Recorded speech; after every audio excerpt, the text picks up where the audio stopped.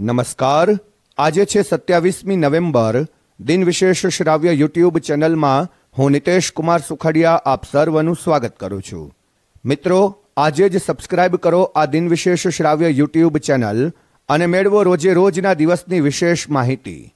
Episode પસંદ પડે તો લાઇક બટન પર ક્લિક કરો અને આ એપિસોડની લિંક આપના મિત્રો, સ્વજનો અને સ્નેહીઓ સુધી પહોંચાડો. એ સર્વને પણ આપણી જ્ઞાન યાત્રામાં સામેલ કરો તો આવો શરૂ કરીએ આજનો આ દિન વિશેષ શ્રાવ્ય કાર્યક્રમ.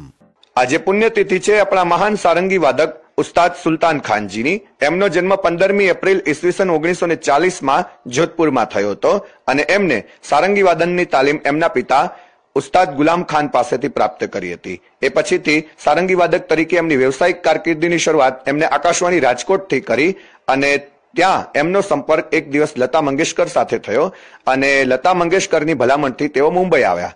આકાશવાણી મુંબઈ સાથે પણ તેઓ જોડાયા અને મુંબઈમાં રહી અને એમને એ સમયના વિવિધ સંગીતકારો સાથે કામ પણ કર્યું.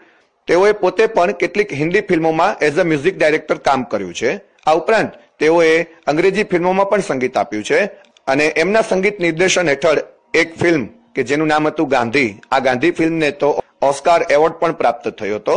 ઉસ્તાદ સુલતાન ખાનજીએ એમના હાથ નીચે અનેક કલાકારોને પણ તૈયાર કર્યા છે, જેમાં વિશાલ ભારદ્વાજ, અલૈયા રાજા, આનંદ શ્રીવાસ્તવ વગેરે. અને તેઓએ સારંગી વાદક ઉપરાંત કેટલીક ફિલ્મોમાં એઝ અ પ્લેબેક સિંગર તરીકે પણ કામ કર્યું છે. તો આવો, આજે આપણે એમનું એક સુપ્રસિદ્ધ ગીત અલબેલા સજન આયો રે એની એક ઝલક સાંભળીએ.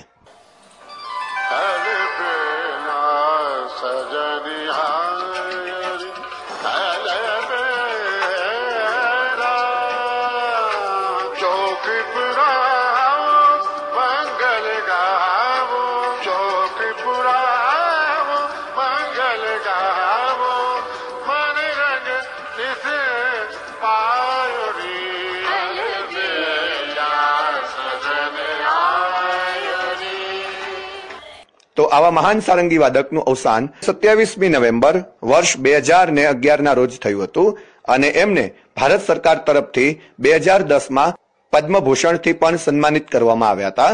તો આજે આ દિનવિશેષ પરિવાર તરફથી એમને ખૂબ ખૂબ ભાવાંજલિ. આપ સાંભળી રહ્યા હતા દિન વિશેષ શ્રાવ્ય એપિસોડ. આ પ્રસ્તુતિ અંગેના આપના પ્રતિભાવો, સૂચનો અને નિવેદનો email ID Nitesh Sukhadia at the rate Gmail dot com પર જણાવી શકો છો. આજે જે સબસ્ક્રાઇબ કરો આ દિન વિશેષ શ્રાવ્ય યુટ્યુબ ચેનલ અને મેળવો રોજે રોજની વિશેષ માહિતી. આ માહિતીને આપના મિત્રો, સ્વજનો અને સ્નેહીઓ સુધી પહોંચાડો. એ સર્વને પણ આપણી આ જ્ઞાનની યાત્રામાં સામેલ કરો. આપ સર્વનું જીવન હંમેશને માટે મંગલમય બની રહે. બસ એ જ શુભકામના, અસ્તુ.